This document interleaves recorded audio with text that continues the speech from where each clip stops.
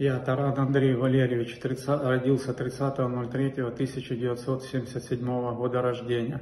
С 2000 года э, поступил на службу в управление госохраны, где и познакомился с Медведчуком Виктором Владимировичем и осуществлял его личную охрану. После окончания и увольнения с управления госохраны я продолжил службу в его личной охране и служил примерно 20 лет.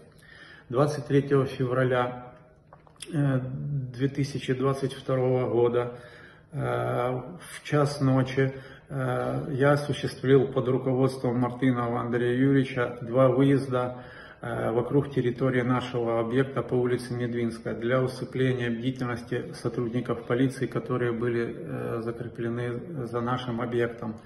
В третий раз мы выехали уже с объекта по улице Медвинской втроем. Мартынов Андрей Юрьевич, я и Медведчук Виктор Владимирович. Спустившись вниз по улице Монтажников, мы пересели э, в другую машину, где ждал незнакомый мне человек э, по имени Богдан. Э, по прибытию в новый адрес по улице Яслинская, 11В, он нас оставил и уехал вновь вернулся через 20-30 э, минут, привезя с собой еще одного сотрудника, повара. В мои обязанности входила охрана э, дома и охрана Медведчука Виктора Владимировича. Здесь мне была рассказана легенда, э, что этот дом снимают и арендуют семейная пара из Италии, по имени Сандра и Света. Э, Медведчук общался э, с женой. При их разговоре я слышал слова как ФСБ, э, они все сделают, они помогут.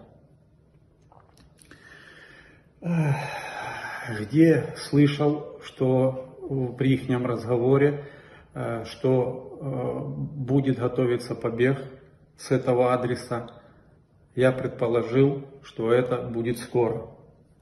Ко мне подошел Медведчук Виктор Владимирович и сказал, что в течение 20 минут за мной приедут военные. Через 20-25 минут в калитку позвонили, э, открыли дверь, и я увидел мужчину в черной одежде, и в руках был желтый кулек. Э, через, э, они поднялись оба наверх. Через 10 минут, э, через 10 минут они вышли, и Медведчук Виктор Владимирович был уже в украинской военной форме, балаклаве и кепке. При разговоре со своей женой Марченко Оксаной Михайловной слышал, что побег готовит ФСБ, так как Беларусь и Россия уже закрыты, то, скорее всего, это будет через Приднестровье, по воде, через Зеленку.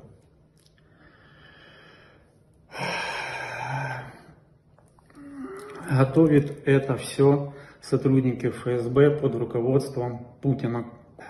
Они вышли из калитки, их ждало уже две машины. Он, его посадили во вторую машину, и они покинули адрес э, Яслинская, 11Б. Во время того, как он уходил, он сказал, что все, спасибо, ждите дальнейших указаний.